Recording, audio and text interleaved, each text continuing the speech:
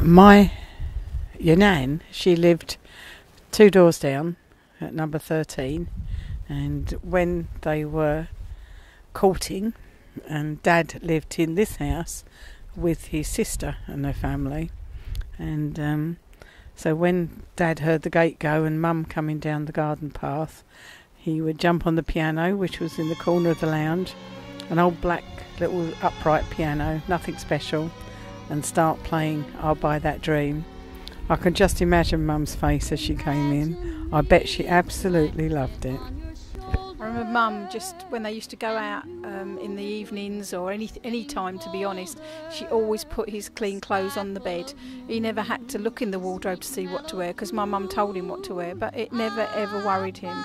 But she would always leave, leave clean socks for him because he would never change his socks. He never had smelly feet. He just could wear them for months and he would just keep on with it. So my mum would force him to change his socks.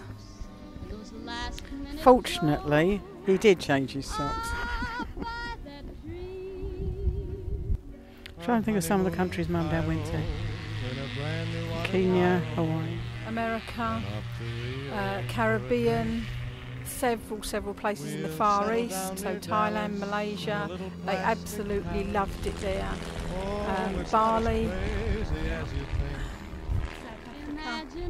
Dad had his first ski lesson at the age of 65. Um, we all went skiing, and clearly we've done France, Germany, Belgium, Holland. Mum and Dad went to Italy. Um, I don't know, anywhere in Europe they've been, all the Greek islands, Spanish islands, Malta, Cyprus.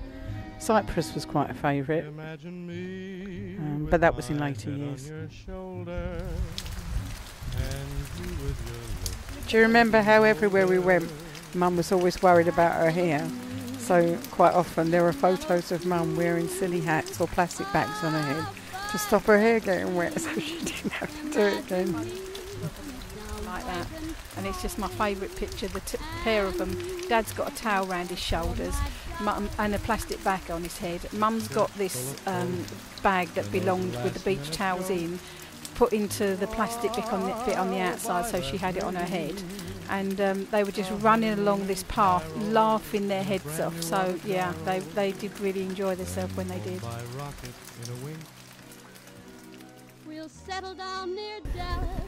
The only thing I can think of is when we lost my dad, as Kay said, Mum was such a strong person. We lost my dad, and it was like before she did all the, the bills, the organising, the everything. She did absolutely everything like that. My dad was just the doer. Um, not that he wasn't clever enough to, but that's the role that Mum did. And we lost my dad, and she just lost it totally. She could never stop crying because she missed him so much. And um, she just lost the the strength of being able to do things. She would ask us, you know, how how did she do this piece of paperwork or that? And it was like, Mum, what's the matter with you? You would have done it all before, but when she lost Dad, she lost half of herself, I think, and um, she never really ever got it back. And all we're hoping is that they're together now.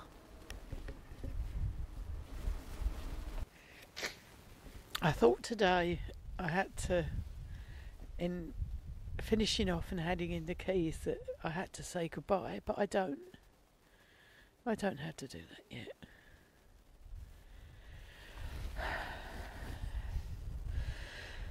And although this place means so much to us, it is a thing, and the important thing was Mum and Dad, not not the house and everything.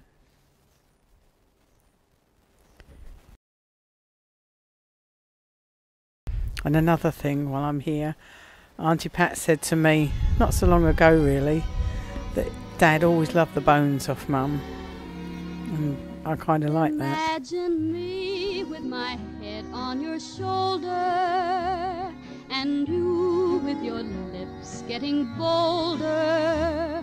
A sky full of moon and a sweet mellow tune.